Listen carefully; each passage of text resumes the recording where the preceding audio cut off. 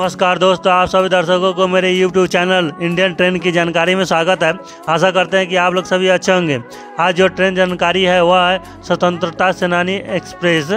इस गाड़ी की जानकारी देने से पहले प्लीज़ मेरे चैनल को सब्सक्राइब कर लीजिए और बेल आइकन को दबा लीजिए, ताकि कोई भी लेटेस्ट वीडियो डालने पर आप लोग को नोटिफिकेशन मिल जाएगा। दोस्तों, स्वतंत्रता सेनानी एक्सप्रेस का गाड़ी नंबर बारह है। यह गाड़ी नई दिल्ली से जयनगर के बीच में रोज़ाना चलती है। नई दिल्ली से जयनगर के बीच की दूरी एक हज़ार दो सौ चौंतीस किलोमीटर है। यह गाड़ी इस दूरी को 22 घंटा 10 मिनट में पूरा करती है। इस गाड़ी का एवरेज स्पीड छप्पन किलोमीटर पर घंटा है और मैक्सिमम स्पीड 130 किलोमीटर पर घंटा है।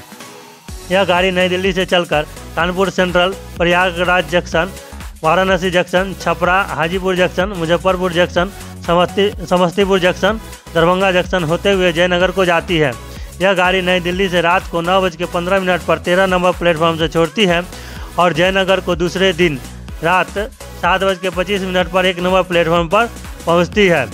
इस गाड़ी की टिकट किराया, जो कि नई दिल्ली से जयनगर तक का है, फ़र्स्ट एसी तीन हज़ार छः सौ अस्सी रुपया, सेकेंड ए सी दो हज़ार एक सौ पचहत्तर रुपया थर्ड ए सी एक हज़ार पाँच सौ पच्चीस रुपया, स्लीपर क्लास पाँच सौ अस्सी रुपया।